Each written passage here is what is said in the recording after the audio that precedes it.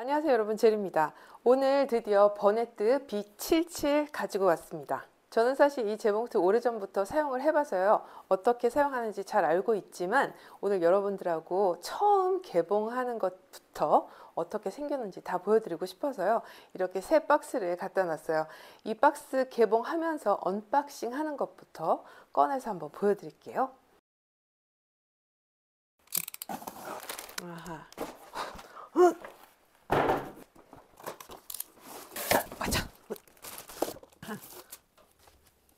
됐습니다. 얘가 지금 버네트 중에서 최고급 사양으로 되어 있기 때문에 포장부터가 상당히 굉장히 고급지게 나와 있고요. 지금 기본 사양에 뭐가 있냐면 요 무릎 lifter가 있거든요. 공업용처럼 이렇게 제껴서 이제 노루발을 위로 아래로 이렇게 내릴 수 있는 그런 게 있죠. 얘는 어떻게 사용하냐면 그냥 여기 이제 구멍이 있어요. 여기에다가 갖다 꽂으면 됩니다. 보시면은 이 연장 extension 보드가 있거든요. 이 연장판은 대부분 우리가 이제 작업을 하다 보면 뭐 원단 같은 게 많이 이쪽에 늘어지는 경우가 있거든요. 그럴 때를 대비해서 이 연장판이 필요한데 더 중요한 건 뭐가 있냐면 바로 이 안쪽 space예요. 이 안쪽 space가 넓어야 재봉틀 할 때 두꺼운 옷을 하더라도 굉장히 편합니다. 그거 해보신 분들은 아실 텐데 왜 그러냐면 코트야 뭐 긴 원피스야 그러다 보면 이쪽 면으로 돌아가야 될 때가 있어요. 근데 이 공간이 좁으면 덩치가 큰 아이들을 작업하기가 쉽지가 않다는 거죠.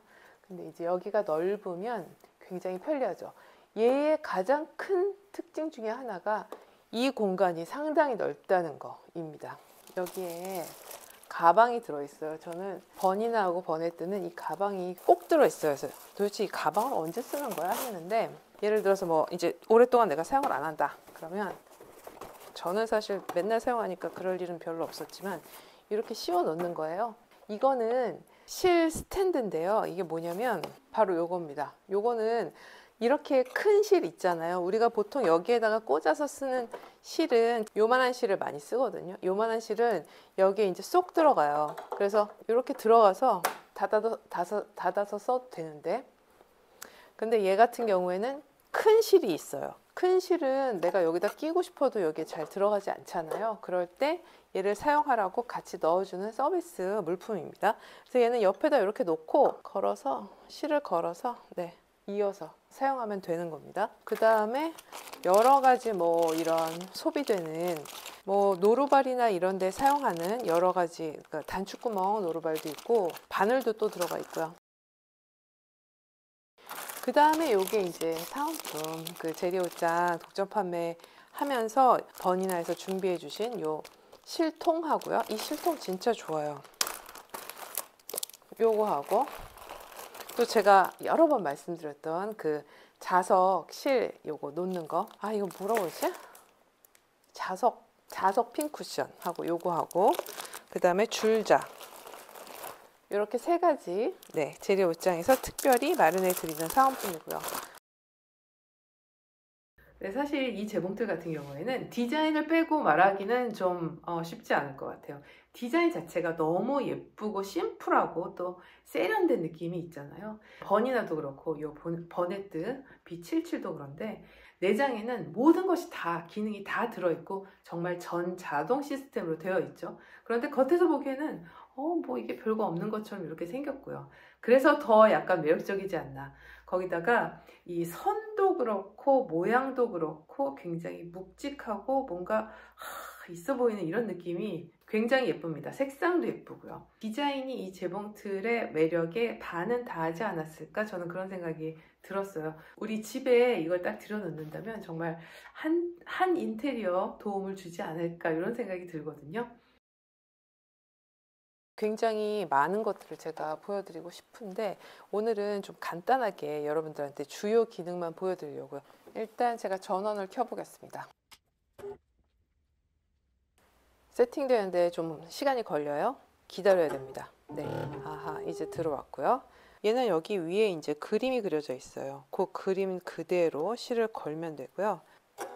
얘가 이제 자동 실거리 장치인데요. 얘를 내리면 여기 그림이 이렇게 뜨게 되어 있어요. 그림을 보면 이렇게 실을 거는 순서가 그림으로 나오게 되어 있습니다. 가만히 있다가도 제가 실을 걸려고 하면 여기 나옵니다. 그래서 이 그림 순서대로 실을 걸어주면 돼요. 그래서 얘를 잡아서 딱 올리면 실이 걸려요. 자동으로 걸리게 되어 있습니다. 노루발을 올릴 때는 무릎 장치가 있습니다. knee lifter가 지금 여기 있어요. 그래서 얘를 움직이면 노루발이 움직일 거예요. 네, 올라가죠.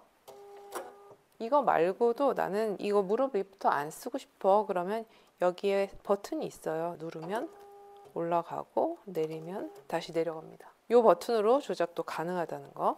간단히 제가 이제 직선 받기를 한번 해보도록 할게요. 얘는 기본적으로 뭐냐면 모든 게 다 전자동이라고 생각하면 돼요. 모든 게 처음부터 끝까지 다 전자동. 이 위쪽에 이렇게 펜이 들어있어요. 그래서 손가락으로 눌러도 되지만 이 펜으로 조작하면 더 쉽다고 하는데요. 저는 급하니까 그냥 손가락으로 하게 되긴 하더라고요. 근데 저는 지금 어떻게 세팅을 해놨냐면 여기 이제 설정에 들어가서 보면은 바늘땀 중에서요. 여러 가지 뭐 나와 있는데 발판을 뒤꿈치로 누르는 것 같은 그림이 하나 있어요. 이걸 누르면 저는 어떻게 설정해 놨냐면 매듭이 지어지고 가위로 사절이 되면서 노루발이 올라가도록 그 세 가지가 모두 되도록 지금 설정을 해놨습니다. 바느질을 하다가 끝낼 때 제 발판을 뒤꿈치로 제가 누르면 이 모든 것들이 된다는 얘기죠. 어떻게 되는지 한번 보여드릴게요. 음, 매듭을 세 번 짚고 이제 출발했어요. 그리고 이제 이때 끝내고 싶을 때팔 뒤꿈치로 이렇게 꾹 누를 겁니다. 그러면 어떻게 되는지 한번 보세요. 누릅니다.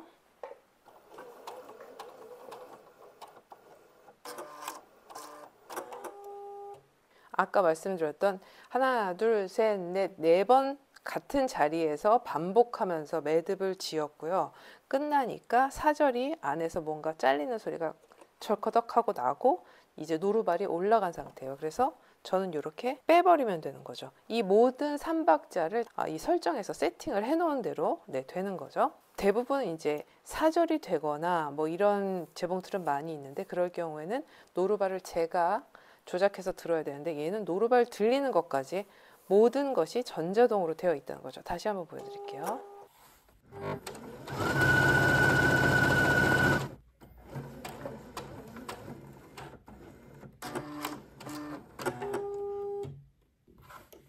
또 특이한 점은 뭐가 있냐면 얘 같은 경우에는 여기서 지금 마무리가 되어 있는데 마무리가 될 때 다른 재봉틀하고 다른 점은 다른 재봉틀은 여기에 실이 이렇게 이렇게 왔다 갔다 하는 게 보이거든요. 근데 지금 이 재봉틀은 네 번이나 왔다 갔다 매듭을 짓도록 되어 있는데 네 반을 여기 앞에서 보면 그냥 한 바늘처럼 보인다는 특징이 있어요. 그리고 뒤로 돌아서 보면 뭔가 이렇게 엉키거나 설키거나 이렇게 매듭이 지어진 모습이 없습니다. 왜냐하면 얘는 매듭 짓는 모습이 달라요. 그러니까 다른 애들은 한 바늘을 왔다 갔다 하면서 매듭을 짓는 형식이라면 얘는 약간 이렇게 크로스로 매듭을 짓고 겉에서 보면 아주 깔끔하게 전혀 실이 뭉쳐지지 않는 모습으로 매듭이 지어지게 되어 있습니다. 그래서 저는 처음에 그랬어요. 이거 처음에 이거 매듭이 안 된 거 아니야? 여기 막 풀리는 거 아니야? 하면서 막 이렇게 했는데 절대 풀리지 않거든요. 이 재봉틀이 또 특이한 점이 뭐가 있냐면 윗실이 아랫실을 탁 하고 잡아챌 때 대부분의 재봉틀이 거기에서 윗실이 호로록 올라가면서 빠지는 경향이 있습니다. 얘는 여기 지금 시작할 때 여기 윗실이 나와 있는 거 보이시죠? 별로 길게 나와 있지도 않습니다. 사절이 됐기 때문에. 그런데 얘를 제가 시작하면 여기 검정색 실 보이시죠? 그 실에 변화가 있는지 한번 보세요. 밟습니다. 음.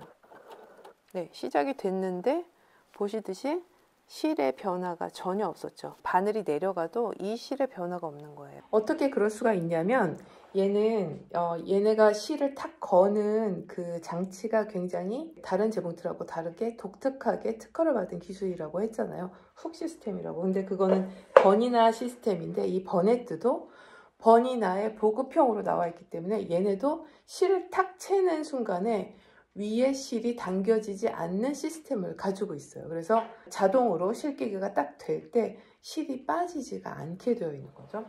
제가 지난번에 설명을 드렸던 버니나 재봉틀이랑 거의 비슷한 그런 시스템이에요. 그래서 어, 롭을 딱 이렇게 좌우로 움직이면서 바늘땀의 크기가 조절이 되는데요. 바늘땀의 크기도 상당히 커요. 그래서 얘는 5까지 최대 큰 바늘땀으로 사용할 수 있어요.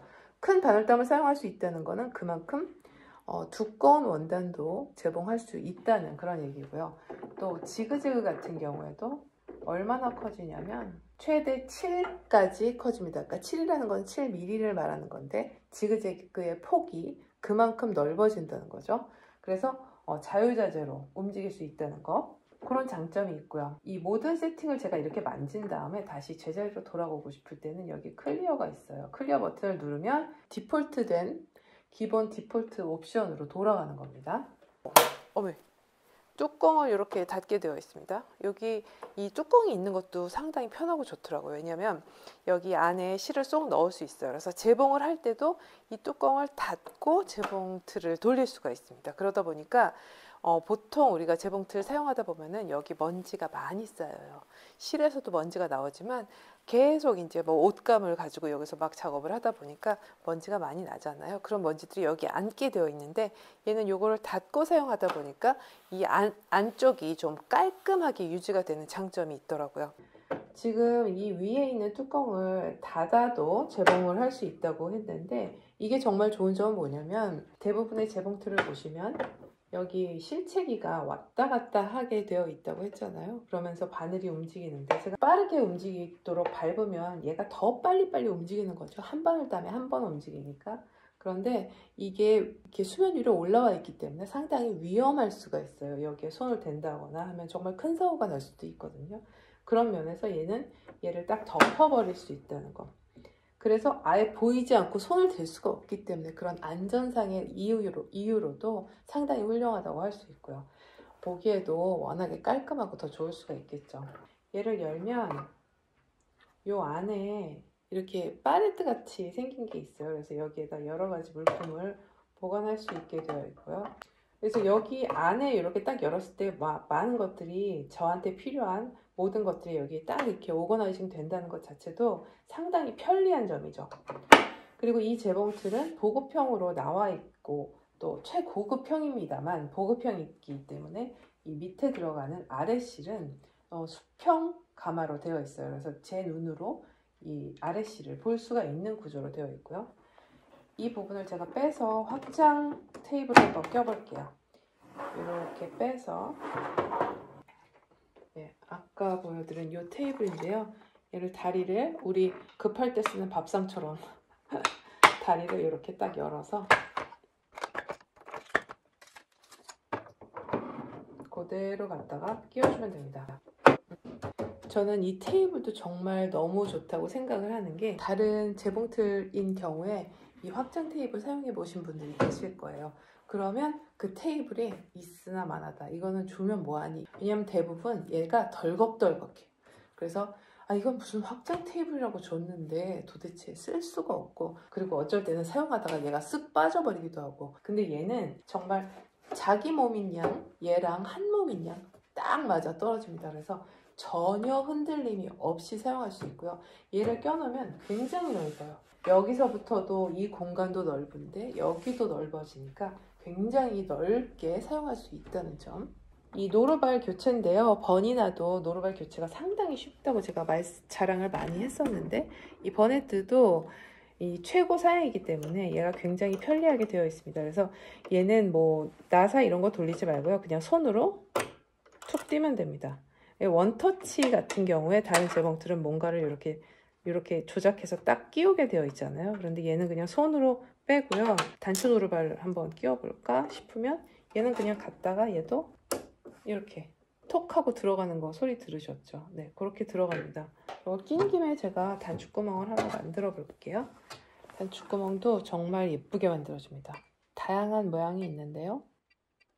요거 한번 만들어 볼까요?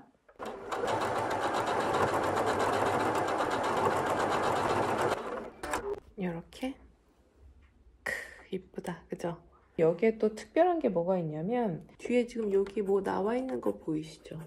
요거를 이렇게 올릴 수도 있고 또는 이렇게 내릴 수도 있습니다. 그래서 얘는 보면 끝에 이렇게 갈고리처럼 생겼잖아요. 그래서 얘가 어, 노루발 끝을 딱 잡고 노루발을 같이 이렇게 이렇게 움직이도록 어, 움직일 때마다 같이 박자를 타주는 이런 역할을 하는 거죠. 이 톱니랑 세트입니다. 세트. 밑에 톱니하고 위에 노루발하고 이 박자를 탁탁탁탁 맞춰야만 일정한 원단이 딱딱 공급이 되면서 바늘땀이 예뻐진다는 말씀을 드린 적이 있었잖아요.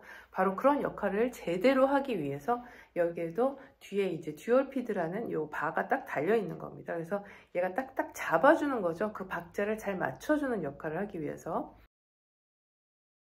가지고 놀 수 있는 기능 여러 가지 여러분들한테 한번 보여드리려고요. 뭐가 있냐면 일단 여기는 이제 직선 바늘땀이에요. 여러 가지. 그 중에서 또 신기한 거 몇 가지 한번 해보도록 할게요. 이런 거 신기하다. 이런 거 한번 해볼까요? 동그라미가 막 움직이면서 지금 바늘땀이 어디를 지나고 있는지 보여주는 거 보이시죠? 매듭을 지어서 마무리하고요. 이런 바늘땀 한번 만들어 봤고요. 이번에는 여기 물결 치는 이런 걸로 가면 더 장식적인 스티치가 상당히 많이 있습니다. 폴더 안에 들어있는 거예요.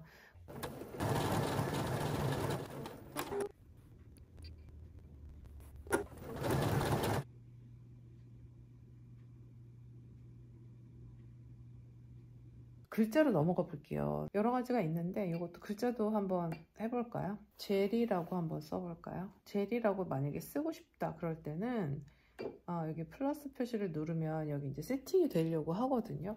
그럴 때 제가 원하는 네, 이렇게 제리 쓰고요. 네, 시작.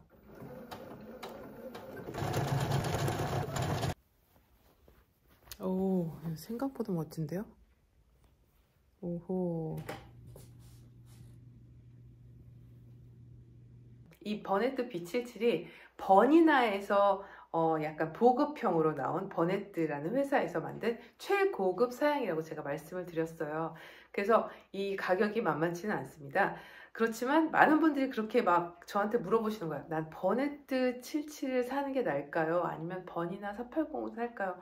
너무 고민돼요 하시는 분들이 많으신데 그거 두 가지를 비교해서 알려달라고 하시면 제가 비교를 할 수가 없는 게 두 개 다 버니나에서 최상위 버네트의 최상위 이렇다고 했잖아요. 그래서 기능 자체가 다 너무 훌륭해요. 그런데 두 개가 어, 워낙에 가격 차이가 100만 원이 넘는 가격 차이가 나기 때문에 사실 이 버네트 B77이 버니나 480만큼 좋습니다. 라고는 말 못할 것 같아요. 저는. 그런데 번이나 480을 사기에는 너무 돈이 사실 너무 큰 돈이니까 부담스럽고 그래도 최고 사양의 뭔가 전자동 시스템을 가지고 있고 믿을 만한 그런 기능을 보유한 그런 재봉틀을 아, 나는 두 번째 재봉틀로 한번 가져보고 싶다 하는 분들이 계신다면 이 버네트 B77 굉장히 추천해드리고 싶습니다. 정말 편하고요. 디자인 자체가 또 너무 예쁘고요. 한번 소장하면 오랫동안 고장 없이 쓸 수 있는 그런 믿을 만한 기업의 제품이고요.